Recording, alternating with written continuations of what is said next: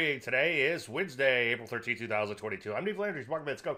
Well, P slid a little yesterday. No big whoop, but obviously you want to see him stop at some point. What I've been fearing, as I've been saying quite a bit, is that we have this big retrace rally. Every Everybody thinks it's okay, and then the market rolls right back over. Actually, a little bit more indicative in the NASDAQ of what I've been concerned about. As you can see, big retrace rally. Everybody brother thought we're okay, and then we roll right back over. Take a look at the Rusty. Rusty kind of up a smidge yesterday after trying to rally.